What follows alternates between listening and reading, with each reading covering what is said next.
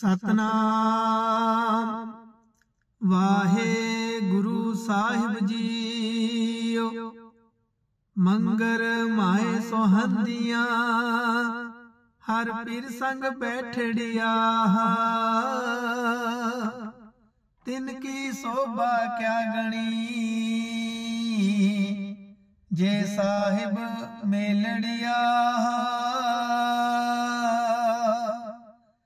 ਮੰਗਰ ਮਾਏ ਸੋਹੰਦੀਆਂ, ਹਰ ਪੀਰ ਸੰਗ ਬੈਠੜਿਆ।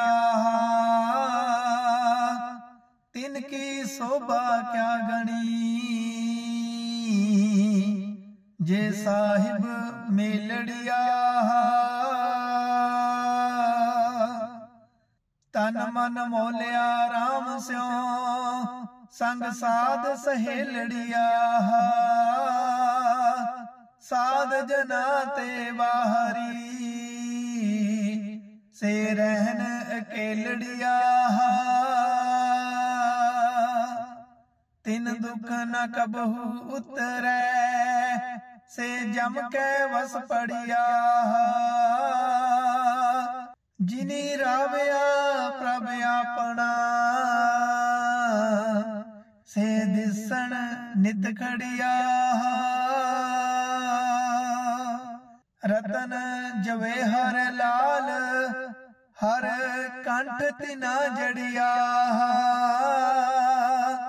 ਨਾਨਕ ਪਾਛੈ ਤੂੜ ਤਿਨ, ਪ੍ਰਭ ਸਰਣੀ ਦਰ ਪੜਿਆ। ਮੰਗਰ ਪ੍ਰਭ ਆਰਾਧਨਾ, ਬੋੜਨਾ ਜਨਮੜਿਆ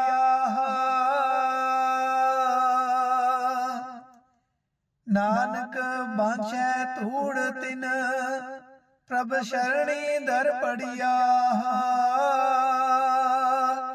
ਮੰਗਰ ਪ੍ਰਭ ਆਰਾਧਨਾ। ਬੋੜਨਾ ਜਨਮੜਿਆ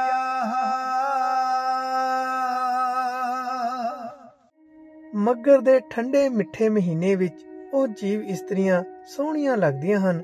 ਜੋ ਹਰੀਪਤੀ ਦੇ ਨਾਲ ਬੈਠਦੀਆਂ ਹਨ, ਜਿਨ੍ਹਾਂ ਨੂੰ ਮਾਲਕ ਪ੍ਰਭੂ ਨੇ ਆਪਣੇ ਨਾਲ ਮਿਲਾ ਲਿਆ, ਉਹਨਾਂ ਦੀ ਸੋਭਾ ਬਿਆਨ ਨਹੀਂ ਹੋ ਸਕਦੀ। ਸਤ ਸੰਗੀ ਸਹੇਲੀਆਂ ਦੀ ਸੰਗਤ ਵਿੱਚ ਪ੍ਰਭੂ ਦੇ ਨਾਲ ਚਿੱਤ ਜੋੜ ਕੇ ਉਹਨਾਂ ਦਾ ਸਰੀਰ, ਉਹਨਾਂ ਦਾ ਮਨ ਸਦਾ ਖਿੜਿਆ ਰਹਿੰਦਾ ਹੈ। ਪਰ ਜਿਹੜੀਆਂ ਜੀਵ ਇਸਤਰੀਆਂ ਸਤ ਸੰਗੀਆਂ ਦੀ ਸੰਗਤ ਤੋਂ ਵਾਂਝੀਆਂ ਰਹਿੰਦੀਆਂ ਹਨ, ਉਹ ਇਕੱਲੀਆਂ ਹੀ ਰਹਿ ਜਾਂਦੀਆਂ ਹਨ।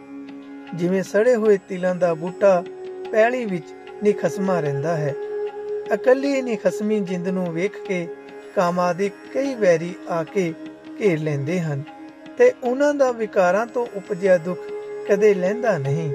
ਉਹ ਜਮਾਂ ਦੇ ਵਸ ਪਈਆਂ ਰਹਿੰਦੀਆਂ ਹਨ, ਜਿਨ੍ਹਾਂ ਜੀਵ ਇਸਤਰੀਆਂ ਨੇ ਪਤੀ ਪ੍ਰਭੂ ਦਾ ਸਾਥ ਮਾਣਿਆ ਹੈ, ਉਹ ਵਿਕਾਰਾਂ ਦੇ ਹੱਲੇ ਵੱਲੋਂ ਸਦਾ ਸੁਚੇਤ ਰਹਿੰਦੀਆਂ ਹਨ। ਵਿਕਾਰ ਉਹਨਾਂ ਉੱਤੇ ਚੋਟ ਨਹੀਂ ਕਰ ਸਕਦੇ। ਕਿਉਂਕਿ ਪਰਮਾਤਮਾ ਦੇ ਗੁਣਾਨੁਵਾਦ ਉਹਨਾਂ ਦੇ ਹਿਰਦੇ ਵਿੱਚ ਪਰੋਤੇ ਰਹਿੰਦੇ ਹਨ।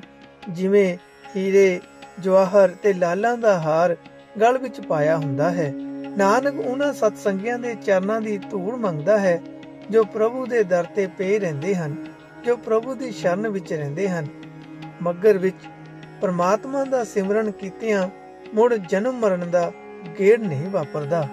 ਸੋ ਮੱਗਰ ਦਾ ਮਹੀਨਾ ਸਮੂਹ ਸਤਸੰਗੀਆਂ ਲਈ ਖੁਸ਼ੀਆਂ, ਖੇੜਿਆਂ ਭਰਪੂਰ ਹੋਵੇ ਜੀ। ਹੋਈਆਂ ਭੁੱਲਾਂ ਚੁੱਕਾਂ ਦੀ ਖਿਮਾ। ਵਾਹਿਗੁਰੂ ਜੀ ਕਾ ਖਾਲਸਾ, ਵਾਹਿਗੁਰੂ ਜੀ ਕੀ ਫਤਿਹ।